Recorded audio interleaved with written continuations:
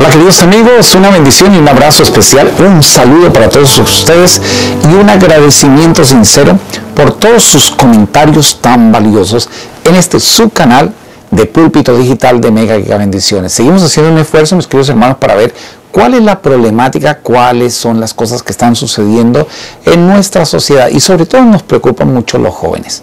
Bueno, esto no es nuevo, pero estamos viendo, mis queridos hermanos, que cada vez los jóvenes se meten a través del Internet para buscar cuáles son los medicamentos que los pueden trastornar, que los pueden hacer ver cantidad de alucinaciones y cosas que los alejen de la realidad. Muchos de estos jóvenes están desorientados. Muchos de estos jóvenes entran en una gran depresión severa, profunda, increíble. Y eso te puede suceder a ti. Y si no te ha sucedido, te va a suceder a los hijos y de pronto tú no te das cuenta.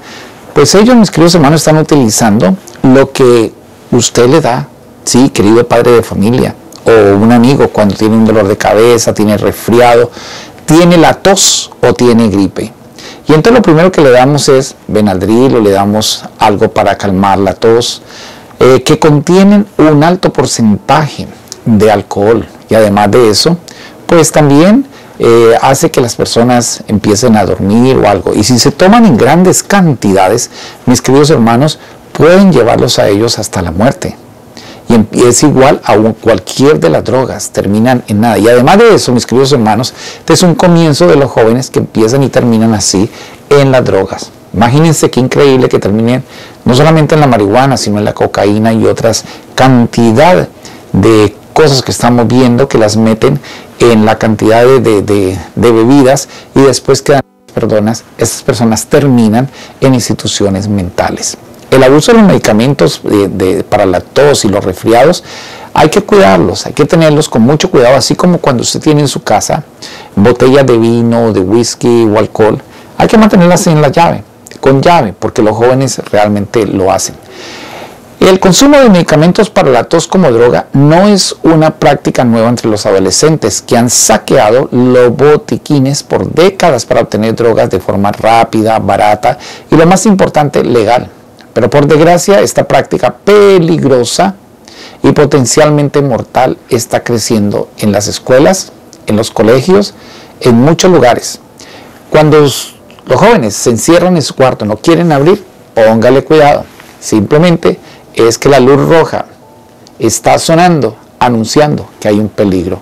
Por lo tanto, es importante que los padres comprendan los riesgos y sepan cómo evitar que sus hijos consuman medicinas para la tos y el resfriado en, dosis excesivas, excesivas. Así como lo está escuchando, mis queridos hermanos, se toman la botella o cogen el paquetico donde vienen eh, nada menos que las cápsulas con Benadryl o de pronto con calmantes, etcétera, se las toman y así se drogan y empiezan a tener estas famosas alucinaciones.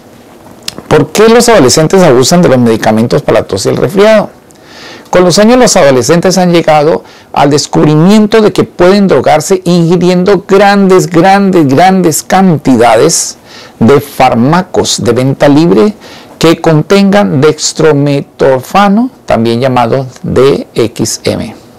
Los medicamentos que confieren dextrometorfano vienen en forma de tabletas, pastillas, cápsulas y jarabes, con la denominación DM, o sea, supresor de la tos o TUS, o contiene una partícula TUS en el nombre. Los medicamentos que contienen dextrometorfano se consiguen con facilidad, son económicos y absolutamente legales. El acceso a la peligrosa droga es tan sencillo como entrar a la farmacia más cercana con poco dinero o buscarlo en el botiquín de la casa. Queridos padres de familia, tenemos alerta porque los jóvenes están drogando con cualquier cosa que tomen. Y también muchos de ellos eh, pueden ingerir sus pastillas o calmantes que usted tiene, mi querida señora, mi querido señor. Hay que tenerle mucho cuidado. Hay que estar atentos controle la cantidad de medicamento que tiene cada botella o frasco en su casa, su botiquín. Verifique solo los, los frascos de medicamentos comunes y póngale mucho cuidado. Esté vigilante porque usted empieza a ver a sus hijos eh, con los ojos rojos o con la mirada pesada o con mucho cansancio o que están durmiendo demasiado. Así que se están drogando a los hijos para evadir las situaciones y responsabilidades que tienen dentro de la vida. Mucho cuidado. Esto que nos sirva un poquito para estar alerta con sus hijos, porque sus hijos y la familia valen mucho. Que Dios me lo bendiga, mis queridos hermanos. Pasemos un momento chévere y compartamos estos videos de Mega Giga Bendiciones en su púlpito digital. Para adelante, no a la droga.